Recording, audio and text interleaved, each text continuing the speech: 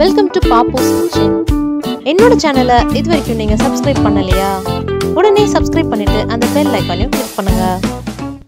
இன்னைக்கு முருங்கைக்காய் ஆட்டுக்கறி குழம்பு எப்படி செய்யறதுன்னு தாங்க பார்க்க போகிறோம் இதுக்கு செய்ய தேவையான பொருட்கள் ஆட்டுக்கறி முருங்கைக்காய் எண்ணெய் பட்டை கிராம்பு வெங்காயம் தக்காளி இஞ்சி பூண்டு பச்சை மிளகாய் தனியா விதை மிளகு தேங்காய் மஞ்சள் தூள் உப்பு கொத்தமல்லி.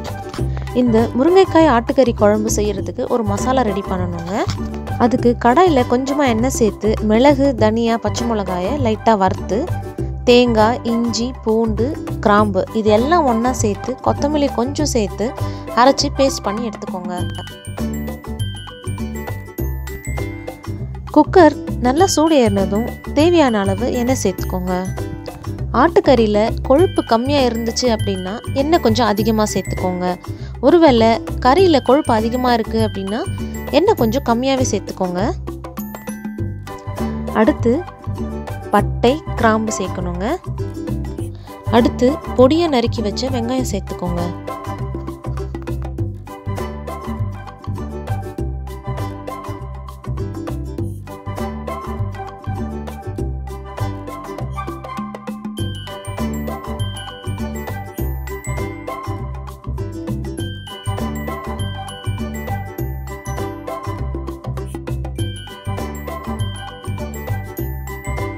வெங்காயம் நல்லா வதங்கினதும் தக்காளி சேர்த்து வதக்குங்க.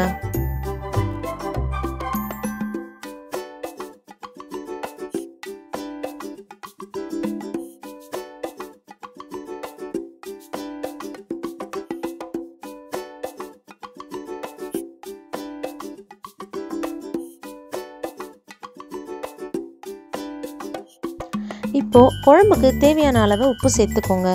அப்போ தான் தக்காளி எல்லாம் நல்லா சீக்கிரமாக வதங்கி வருங்க.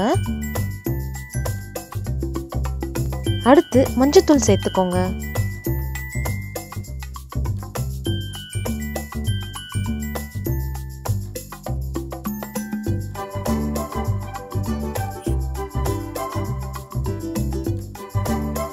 வெங்காயம் தக்காளி நல்லா வதங்கினதும் ஆட்டுக்கறியை இப்போ சேர்த்துருங்க.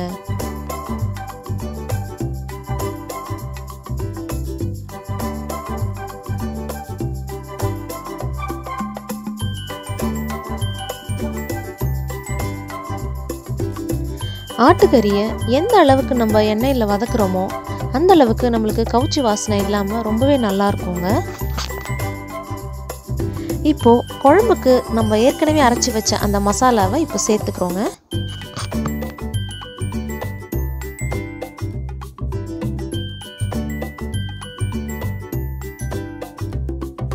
மசாலாவை நல்லா கறியோட சேர்த்து கலக்கி ஒரு அஞ்சு நிமிஷம் போல் நல்லா வதக்குங்க.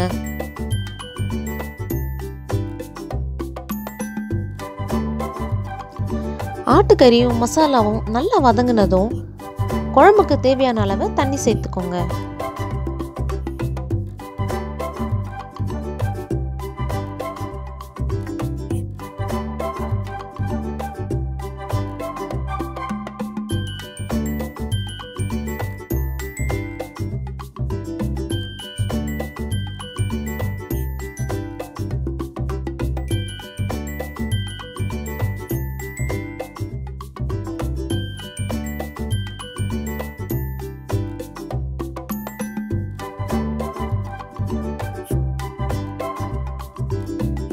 குழம்பு நல்லா கொதிச்சு வந்ததும் குக்கரை மூடி எட்டு விசில் விட்டு வேக விடுங்க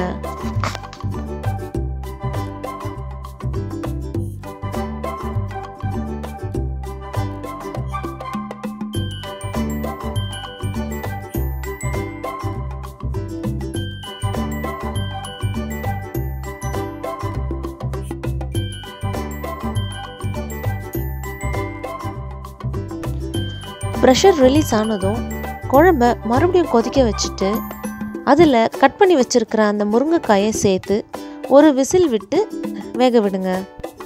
ஆட்டுக்கறியை வேக வச்சு எடுத்ததுக்கு அப்புறமா தாங்க முருங்கைக்காயை சேர்த்து வேக வைக்கணும்.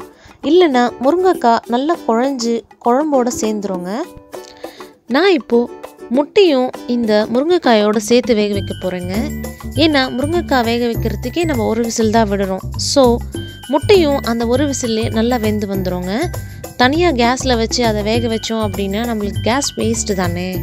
இந்த மாதிரி முட்டையை குழம்புல போட்டு வேக வைக்கும் பொழுது முட்டையை நல்லா கழுவி எடுத்துக்கோங்க. இல்லைன்னா முட்டை மேலே இருக்கக்கூடிய அந்த அழுக்கெல்லாம் அந்த குழம்போடு சேர்ந்துருங்க.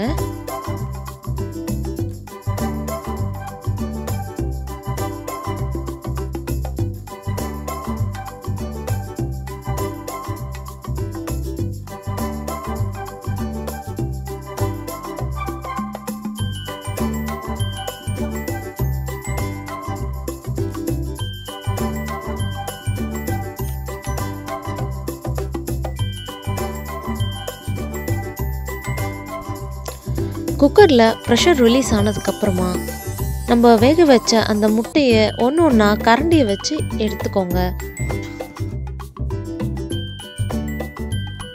இந்த முருங்கைக்காய் ஆட்டுக்கறி குழம்பு பார்த்தீங்கன்னா சூடாக இருக்கிற சாதத்தில் போட்டு சாப்பிடும்போது ரொம்பவே டேஸ்ட்டாக இருக்குங்க. அது மட்டும் இல்லாமல் இந்த குழம்பு சப்பாத்திக்கு பூரிக்கு இட்லி தோசை இது எல்லாத்துக்குமே சைட் டிஷ்ஷாக சேர்த்து சாப்பிட்லாங்க.